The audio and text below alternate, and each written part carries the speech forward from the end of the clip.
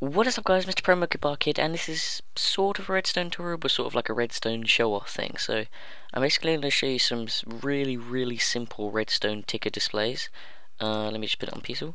Um, I've never made a redstone ticker display before, so they're not brilliant, but they're, they're half decent. So, the first one obviously is this, where first of all I will show you the, actually I'll show you the actual ticker first. So as you see I've labelled them, so bottom left, and when you flick, the bottom left torch comes on, and obviously the same for, oh wait, huh, oh no, there we go, it's decided to work. Okay, top right obviously, and bottom right, obviously there. And this is really simple, I don't know if you even call this a ticker display to be honest, but uh, so say we go for bottom right, so you have redstone coming out of here, you have an inverter, which was in my last tutorial, which uh, switches the power from on to off on that side and leaves it on here. Come around to repeater to extend the power, and this goes into the bottom right block. And then say for the top right block, the redstone comes out of the back. Under here is our inverter, right there. So here's our inverter. It comes all the way back up here, it goes up this little staircase, back round, and into the top right.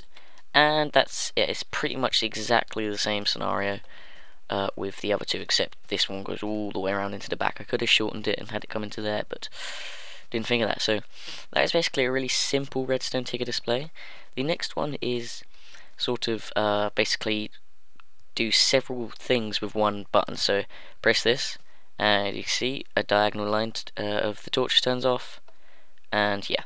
So I'll flick it on. So I didn't use an inverter for this one but if I had basically the torches would be off when this was up so they'd be off now and you flick that and it'd come on.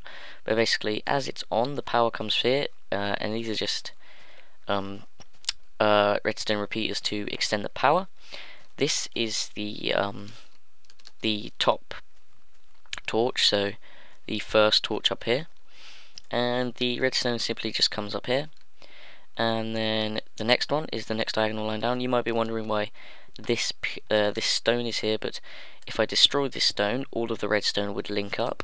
So I don't it wouldn't really matter but it just gets a bit annoying.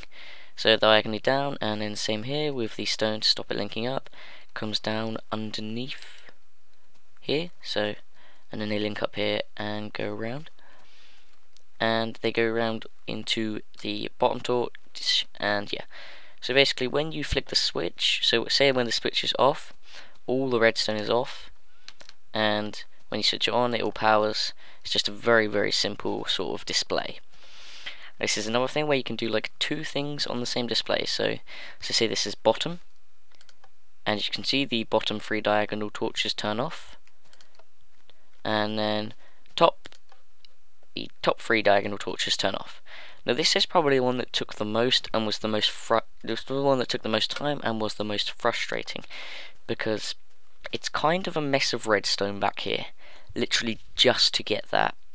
The main trouble I had was redstone was linking up in places that it wasn't supposed to, but I managed to all fix it. Uh, I managed to fix it all, and it works. So basically, all it is is redstone coming out of this block going up into the back of the block where the torches are. It's really simple and obviously you can make like uh, timer displays where it shows like numbers and stuff but I don't really know how to do that so this is sort of just been kind of a redstone tutorial. It's really easy to make sort of basic ticker displays like this but anyway I've been Mr. Promo Kid and thank you for watching. Peace out.